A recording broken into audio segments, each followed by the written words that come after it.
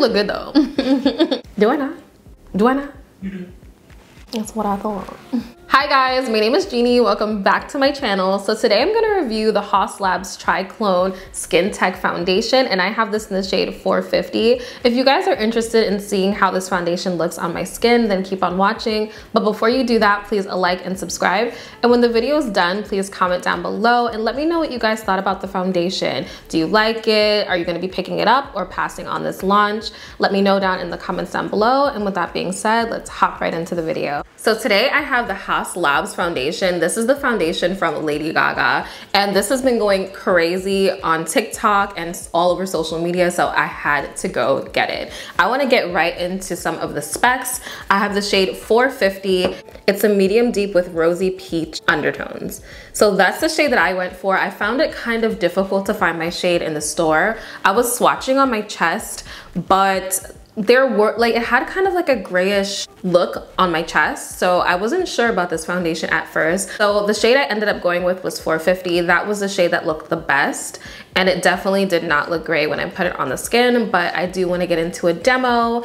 Let me just read a few specs about the foundation. It's supposed to be a medium coverage, weightless, clean foundation with fermented arnica that reduces redness, helps even skin tone, and protects from environmental stress. So this is supposed to be like a skincare infused foundation, just like a lot of the foundations that have launched this year. It's supposed to be medium coverage, and it's a liquid formulation and the finish is natural. So it's a natural finish. It's not supposed to be too glowy or too matte. This foundation is considered a clean foundation at Sephora. So if that's important to you, those are good things to know. I think it should be really good for people with acne prone skin. Foundation is supposed to have long wearing performance without compromising your skin. It's a weightless serum-like texture, blurs, textures, and pores for a natural skin-like finish that wears for 12 plus hours with no slipping or caking. And those are some really big claims. So let's get into the demo so you guys can see for yourself. As that you can use the Haus Labs foundation brush. Of course, I didn't get that. I usually never get any extra brushes. I have a lot of tools.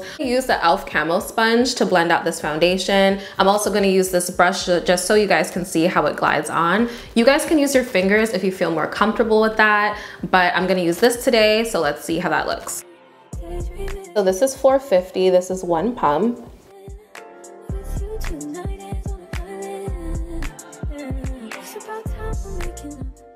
And I don't have a primer, but I might apply a primer to the other side of my face.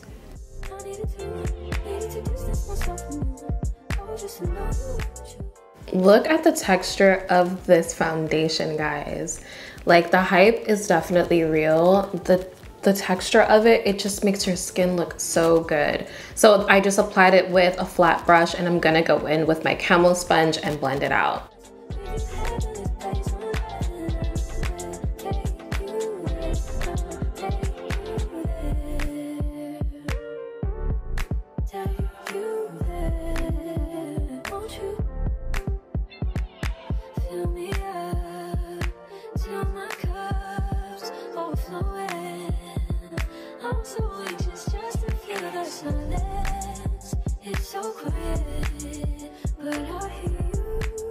One side with the Haus Labs foundation and this is with nothing. So you guys can see like how beautiful the finish of this foundation is.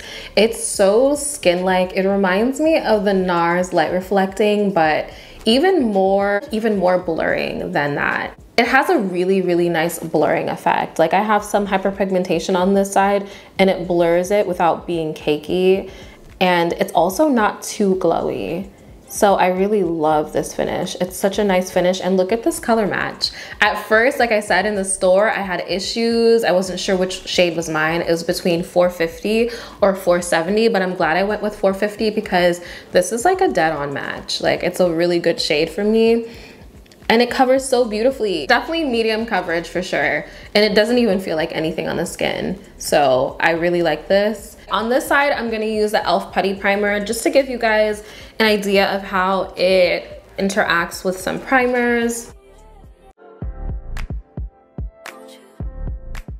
Okay guys, so I have the primer on this side of my face and I'm gonna go in with another pump so you guys can see because I do have a lot more blemishes and acne marks here. I'm also currently breaking out, so this is a better side for you guys to see like how much this foundation can really cover.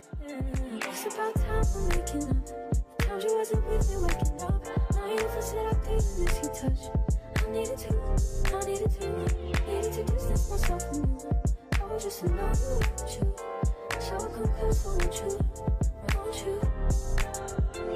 Can I tell you something for it's what have place on Take you take you, show you something, Hey guys, so I finished the rest of my application and you can see how nicely it covers this side that has a little bit more acne marks. It covers it just as nicely and I'm really impressed with how this foundation looks. I love the finish of it. It is so beautiful and skin-like. Let me know what you guys think down in the comments below. I'm gonna finish the rest of my makeup. I'm gonna use my Born This Way concealer and I'm also gonna set with the One Size powder.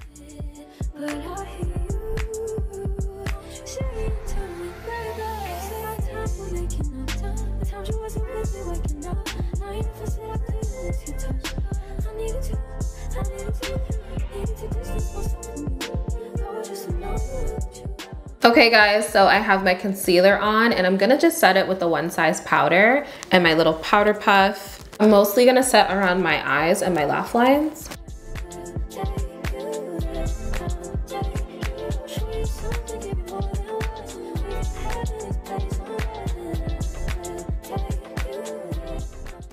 Okay, so I mostly just set around under my eyes and like around my laugh lines, but I kept kind of these areas a little bit more radiant. I'm gonna go finish the rest of my makeup and I'm gonna come back, show you guys the wear test and give you guys my final thoughts. Okay guys, I'm back and this is the finished look. I love how my skin looks with this foundation on right now. I think it looks so good. I'm in love with this foundation. I think that it's such a nice foundation. That the claims are true. It's definitely a medium coverage and it definitely has a blurring property that is so beautiful when you initially apply it to the skin. You see it. And if you don't set the foundation, it might be even more glowy for you. It depends on how you decide to set it. If you set it with a more matte powder or if you set it with a slight finishing powder, you may be able to get a little bit more glow out of it. But I love how my face looks right now. It's truly a natural finish. I don't feel like the foundation increases the look of my texture, so I really like that. Also did a wear test, which I'm gonna show you guys in the next clip. This is from when I went to work. I wore the foundation from about six a.m. to 5 p.m. So that gives you guys a good length of time so you guys can see how the foundation wore on my skin. So I'm on my lunch break and I was trying to get footage before, but I'm literally trying to hide my camera because I feel like I'm in a kind of sketchy neighborhood. But anyway, so I've been like wearing this foundation since 6 o'clock this morning and it's like around 1.30 and this is how it looks like usually I get super oily right here and it's just like a little bit oily like on my nose like a little bit. Like there's a little bit right there but there's not much. Usually I have to like blot and like look how not oily my skin looks. Like it looks so good. It looks so good. This is my second day wearing it and I wore it till seven o'clock yesterday and it wore really well. And I've been running around all day. So like this is saying something. Like I haven't just been sitting in my bed. Like I've been working, I've been out, I've been doing stuff and look how good it still looks. Like I'm really impressed. I'm really, really impressed. And this is with no primer guys, like no primer. So let me like try to close up so you guys can see. So it's about like one o'clock now.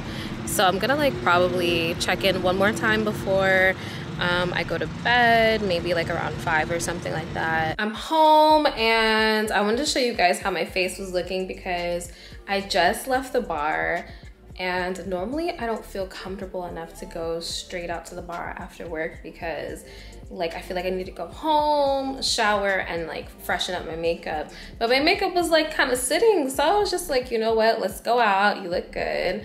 I just blotted my face around my nose with the Fenty Beauty um, Invisimatte powder. If you guys haven't gotten the Invisimatte powder, I don't know what you're waiting for because it is super good but I am looking a little bit more shiny. I've been walking around. It's really hot now. You know how fall is. It just gets so much hotter later in the day. So, you know, it's showing a little bit.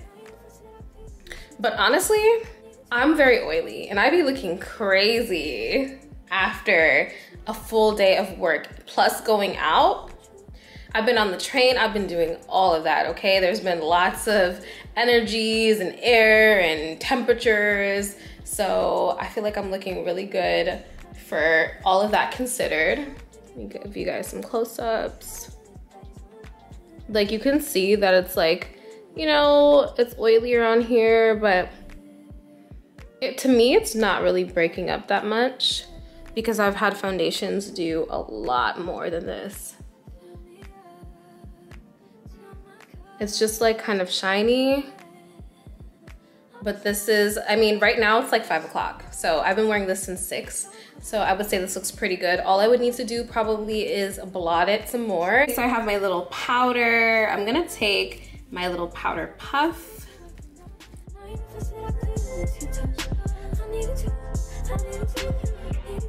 Doesn't that not instantly look a lot better and all I did was just blot?